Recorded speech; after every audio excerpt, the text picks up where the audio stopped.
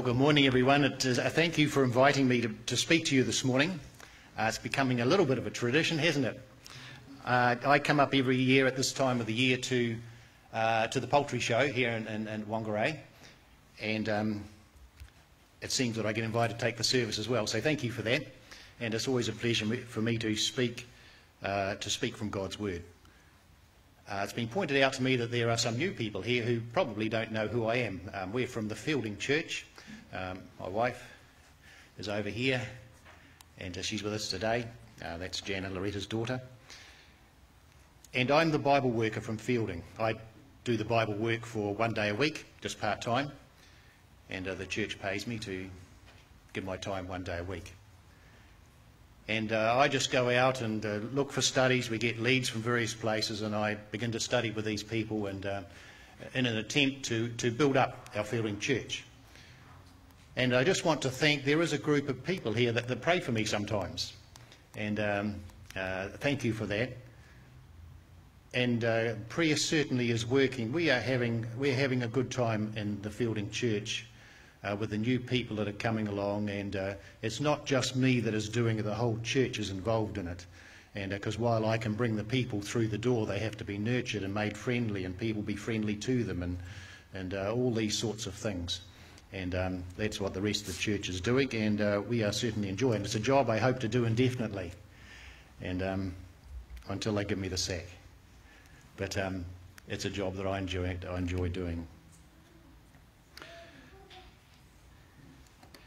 There is no doubt about it that in the world we live in, we have never seen communication and the ability to communicate such as we see today as it. We've never seen that, anything like it in history before, and it just gets. There are all sorts of things that I really know nothing about, Skyping and Bluetooth and and um, and even emails are a little. I, I sort of can just learned to do that recently, but the world is just gathering pace in its ability to communicate with other people and not necessarily making it a better place, but it's, it certainly is happening. And uh, I was thinking about uh, communication and, um, and, and things uh, not so complicated. In your mailbox comes these advertising flyers. You would get them up here as we do. And uh, they seem to come mostly on one day. At our place, we're on a rural delivery, and they come on a Tuesday. The other day I counted them 17 individual leaflets advertising 17 different products and two, uh, two local newspapers. And the ability or the desire in these hard times, I suppose, for people to, to sell their products. They, um, they're advertising furiously, and uh, there's just so many of them. I, I don't even read them, they just go straight in the recycling pile. There's just too many of them. You don't have time to read it. And sometimes it's a little bit like that with good stuff, isn't it? We get good stuff coming into our homes, magazines and, and all sorts of good books that I have in my library, some I've never read, just overload of information. And sometimes when I'm going to get a service reading and, and, i choose a topic and I think, now what books have I got there? I've got a good selection of John Stott uh, commentaries or, or, or um, um, Charles Spurgeon, uh, Arthur Pink, SDA Bible commentaries, they're good. Ellen White books—I've got most of them. but sometimes it's good to go directly to the source because even though good as those books are, they're actually someone else's opinion on what the Word of God is saying. And so this morning, I'm just going to go to Exodus chapter 20 because almost all of Exodus chapter 20 is dictated by God. So you can't get much more accurate than that, can you? In fact, some of it, almost half of it, is actually written by God with his own hand. I want you to think back in your family history, and uh, I, have done that with mine, and, and some families are into this sort of thing and some are not, but you might be able to trace your lineage back quite a way. There is some energetic person in, in my family that has traced our family lineage back to Henry VIII. 1500s. And uh, the Strawbridge family came to New Zealand in 1875 in a little ship called Dallam Tower, and there were 23 of them. The old matriarch, Sarah Strawbridge, was 77 years old. Uh, she had uh, several of her sons and one daughter and grandchildren with her. One of the sons was John, and he was in his 50s, and a grandson in his 20s. Grandson's name was Samuel. And um, After he'd come to New Zealand a few years, he found a young lady, married her, and they had eight children. And one of them was my grandfather. And uh, then, of course, my father, and then myself. My father can remember Samuel Strawbridge. He was one of the grandchildren that came out in 1875. He uh, remembers his mum putting them on the train, and Dad grew up not far from here, just a Waitara, just uh, 20 miles or so south of here. And they hopped on the train and they went to see Grandad Samuel Strawbridge. Uh, only once or twice because he died when, in 1933 when Dad was about five years old. So what I'm saying here is the first 140 years of family history for us is quite well known. Uh, Dad can remember his grandfather who came out on the boat in 1875. There's good records of that. We go one step further back. We came from England, uh, in a little, uh, little village south of England called Stockton. I've been there. Uh, there's still a Strawbridge family or two living there. Uh, the little church that Sarah, uh, little church that they used to worship, and the house where Sarah Strawbridge used to live, and the little shop she had, all still there. And we walked amongst the graveyard there, and there's uh, stuff going back into the early 1800s and some into the 1700s. But by that point, there's, there's not many stories. It's just names, really, just names and dates. And then you get back into the 1600s, and there's no stories. There's just a name and a date. So you go back 400, 500 years, and I really know nothing about my ancestors. I've got a name. What did they look like? What did they believe? Were they really Christians? I wouldn't. They're all, they're all Church of England. Everyone had to be Church of England. But were they great spiritual men? Were they kind? Were they mean? I really know nothing much about them. And place yourself in that setting. How far can you think back to your family? Because you see, the children of Israel had been captive in Egypt, or not captive all of that time, but had been down in Egypt for 430 years. And they had heard stories about Abraham, Isaac, and Jacob. They didn't know what they looked like. They really didn't know all, much, all that much about them except what had been handed down orally. They had lost the spiritual content of their forefathers. It was so long ago. But something really bad had happened to them. It tells us there in Exodus chapter 1, verse 8 then a new king came to the throne. And uh, probably Ahmose, the 18th dynasty of uh, of the Egyptians. And it said, This new king did not know who Joseph was. And it goes on to say in verses 9 and on, He looked around him and saw the children of Israel, and they were so numerous, he was afraid of them. Now, something happened. How could they forget about Joseph? He was the one that saved Egypt and saved the surrounding civilization. During the time of Joseph, the people who ruled in Egypt were called the Hyksos. They weren't really Egyptians, they were actually Semitic in their, in their, in their origins. Uh, but they ruled Egypt at the time. Eventually, there was civil war, and the true Egyptians rose up and they conquered the Hyksos.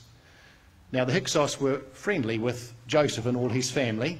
The new Egyptians came in and they said, These Israelis, these Jewish people, they were friendly with our, with our previous enemies. They might one day rise up against us, and so they enslaved them. They couldn't worship God anymore. All their freedoms were gone. We don't know what it's like to be a slave. But they had no freedoms. They couldn't worship how they wanted to. They couldn't live where they wanted to. And th this once treasured nation, this once privileged nation that was living in the most fertile part of Egypt, that was favoured in every respect, suddenly became slaves and they forgot what it was like to live like Abraham, Isaac, and Jacob. It was only a vague memory for them. And so God said to them when the time came after 430 years, I'm now going to reach down and I'm going to take you out of the land of Egypt. And he did, and we'll come back to that in a moment. Let's just go to the Ten Commandments. So it's in this context of slavery, of forgetting what their forefathers had stood for that God gave to them the Ten Commandments. From now on you shall have no other gods before me. That was new to them. The Egyptians had thousands of gods and they had adopted quite a few of them. That's to finish, God said, no more. And I don't want you to make any graven image or any idols. They had thousands of those as well. I don't want you to do it anymore. There's only one true God. I want you to take my name uh, carefully and respectfully. And here's something really new for you. I want you to keep the seventh day Sabbath holy. They'd had to work seven days a week before this. This was something completely new to them. It's an interesting thing in my work as a Bible worker that the Sabbath is always an interesting time when you take people through the studies. And quite a number of people that I work with uh, do the Beyond series DVD. And the first seven or eight are quite, um, quite uh, universal. That's the word I'm looking quite universal to all religions. And, and I say to them, up till now, you really haven't disagreed with anything that I've presented to you. Here's number nine. This will be something for you to think about. It's on the Sabbath. I've been visiting a young lady, solo mum, uh, for about a year now and she came to number nine. Uh, this is her second lot of DVDs that she's been watching. And I said to her, How did you find it when I went back? It's quite good, she said. I can't find any fault in it. There's another one that comes after which tells about, uh, which tells about how Sunday came, and came to worship. She watched that one. And then she did the State of the Dead and I, I, needed to have a conversation with her. I needed to sit down and talk with her about it because she was convinced of the truth of it. And um, I went back and I tried to arrange this with her, and I went back to see her, and I said, "Well, you know, what are you going to do about it? You said that you can't find fault in it. Essentially, you're agreeing with it. Um, what are you going to do about it?" She's a brand new Christian. She's only she was baptised last year in her own church. She says, "Well, I like my church." I've got relations in that church. I'm quite happy where I am. And she didn't want to do anything about it. you see, the Sabbath is a dividing line. Ezekiel 20, verse 12. God said to the children of Israel, I have given you my Sabbaths. You'll know the one. I've given you my Sabbath that it will be a sign between you and me. This will be the sign that you belong to me. You can compare that with Revelation chapter 13, where Satan has his sign too. He's going to in the future. It's probably not all that evident at the moment. In some ways it is, but uh, there's going to be a certain sign. It's called the mark of the beast. And amongst other things, that mark of the beast is going to be people worshipping on a different day, man's day. It's even got a number, 666. That signifies man's number. And so Satan has a number, Satan has a day, God has a number, God has a day. Sabbath is God's sign as to whether you are a follower of his or not. Studying with another man, uh, and he's been a Christian a long time. Uh, he belongs to one of the Pentecostal churches in Feilding. And I've been, I've been talking about him, with him, with the Sabbath for some time now. I gave him a very good book that deals with all the Sabbath questions. And he's working his way through it slowly. He's quite a scholarly sort of person, knows his Bible very well. But he still hasn't accepted the Sabbath. it, it is hard. He's been worshipping on Sunday for 40 years.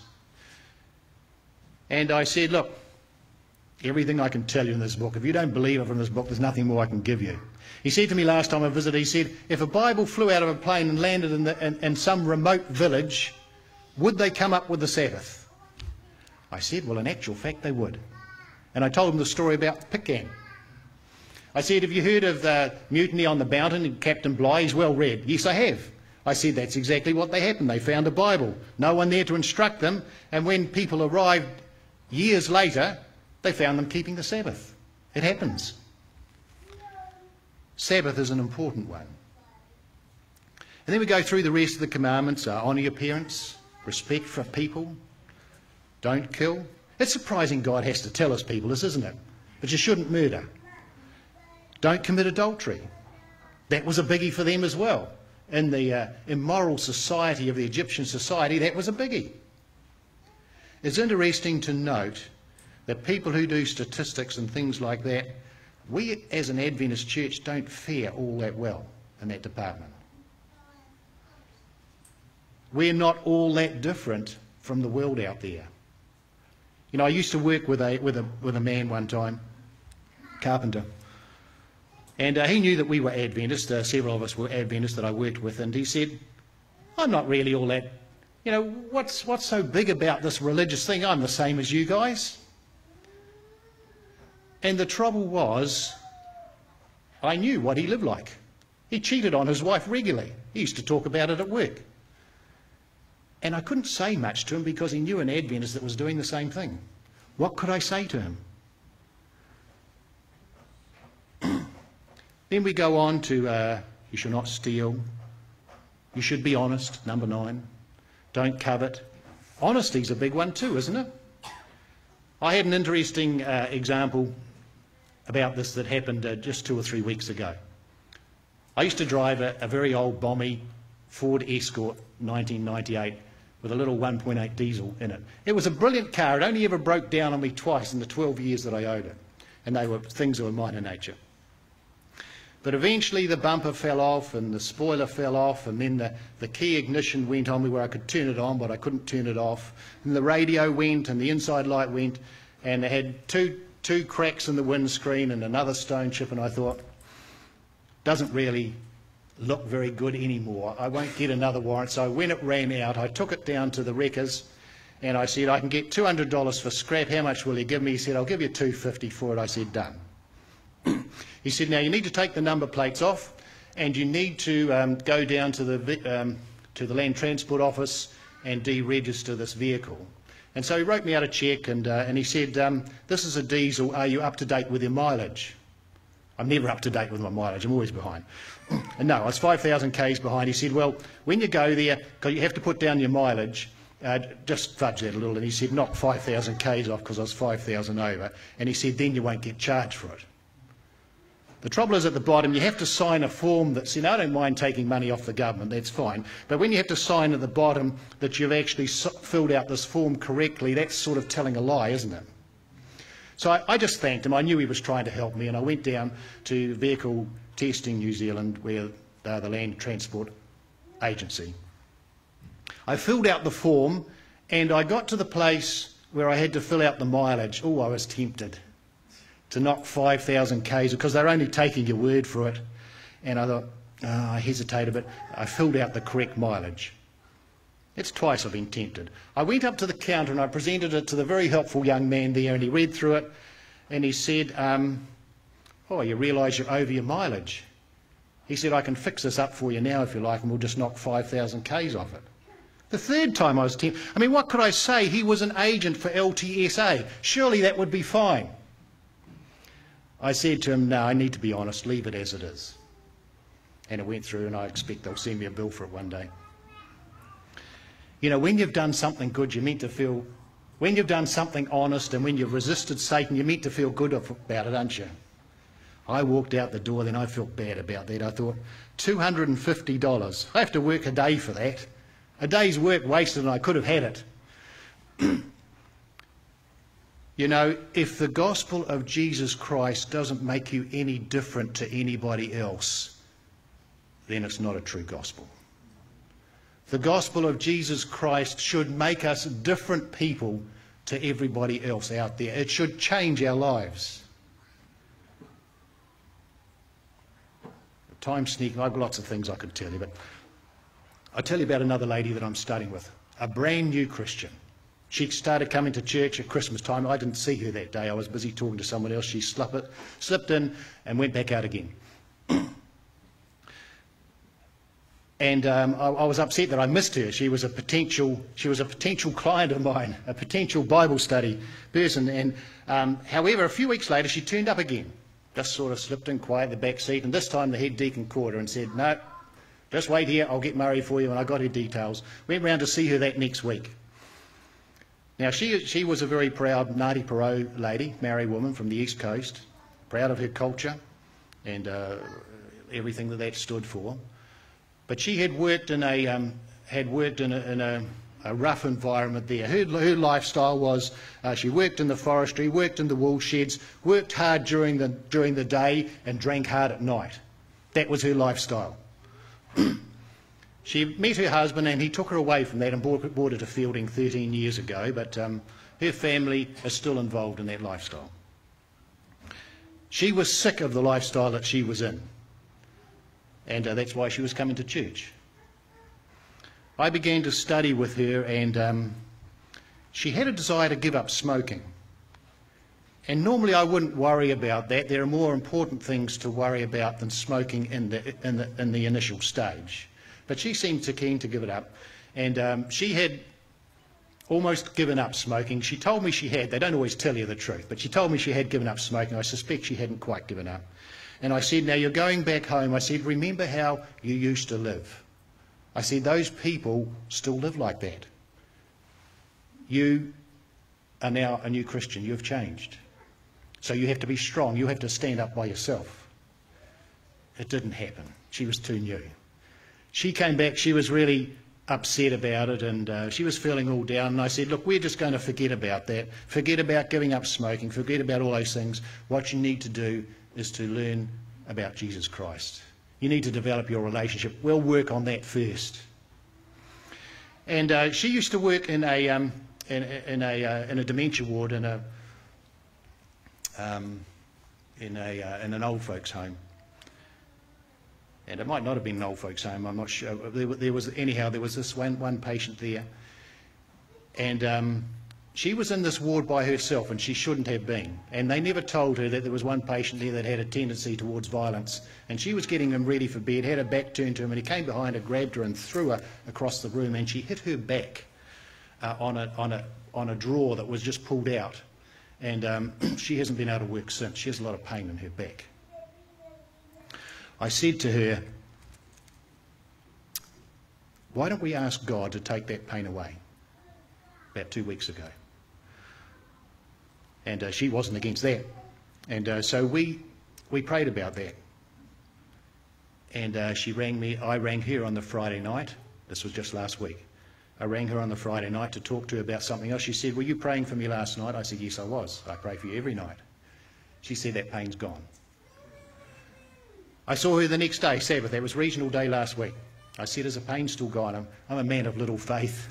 I said, Is the pain still gone? She said, I have no pain. She said, I've slept the best that I've slept for years. I saw her again Tuesday. Pain still gone. Yes, it is. She had, a, she had a new outlook on life on Tuesday when I went round there.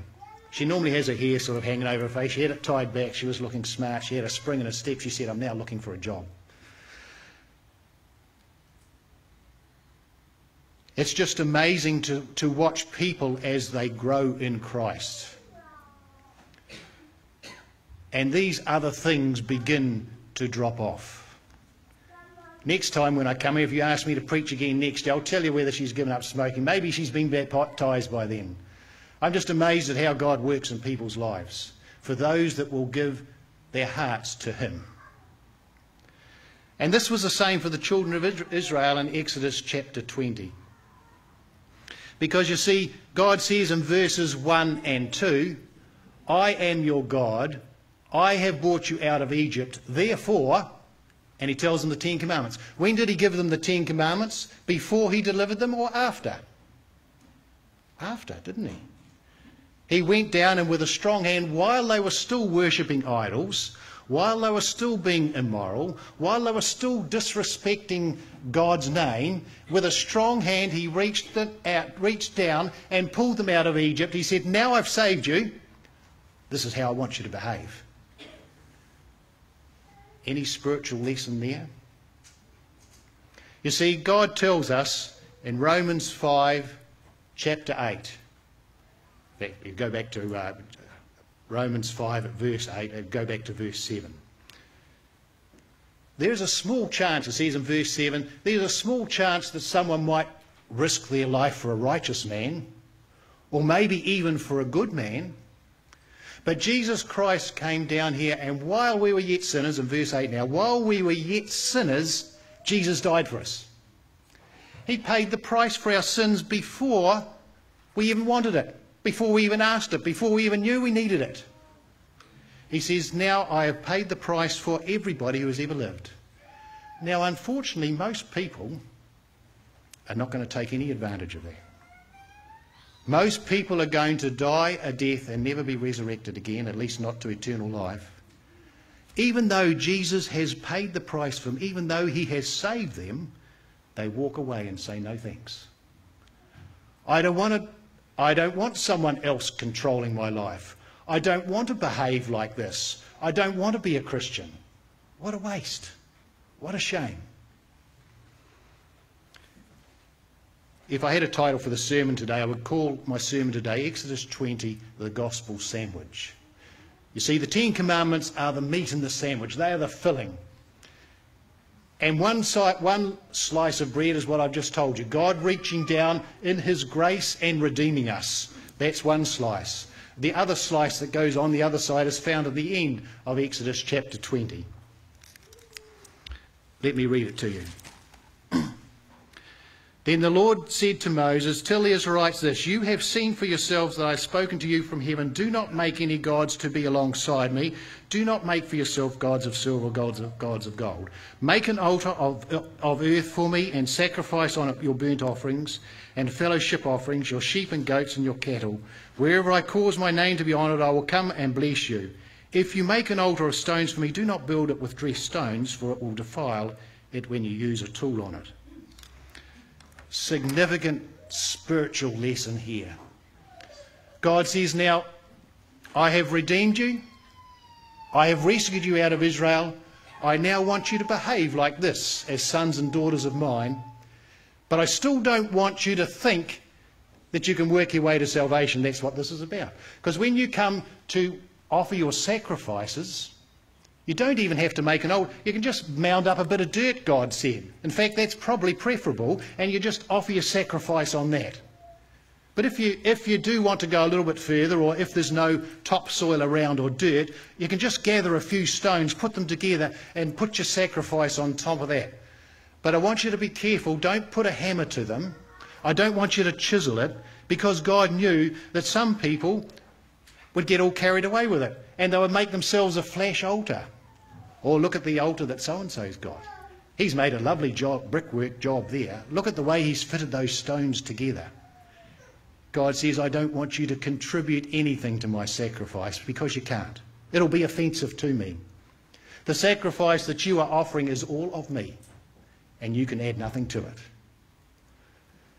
That's the gospel sandwich that I've given to you this morning. God on Calvary paid the debt for every sin that's ever been committed, every one that you have committed and will commit. God has paid the debt for it. It's up to you whether you choose it. And God says, when you do choose it now, I want to change your life. I want to make you into a better person. Why? So that men may see your good works. Why? That they may glorify the Father, that you'll be a witness to other people. But on no account must you think that somehow you contributed to that. Like Ellen White says, not one stitch of the robe of righteousness is of human devising. And so, as we grow in grace, as we seek God's goodness, as we seek His mercy, above all, as we seek His salvation, may God bless you and help you in your walk with Him this week. Thank you. Oh, Heavenly Father, Rock of Ages, Redeemer, gracious Saviour, thank you so much for what you have done for us. While we were still sinners, Lord, you thought of us. Before the foundation of this world, Lord, you knew you were going to die for us. Thank you so much. And Lord, my prayer this morning is that each one of us will accept your goodness, your grace, your mercy. That we'll accept that uh, gift on Calvary. that you'll come into our hearts and change us, Lord. You'll make us your people. You'll make us true witnesses for you that other people may be saved in the kingdom as well. I pray in Jesus' name. Amen.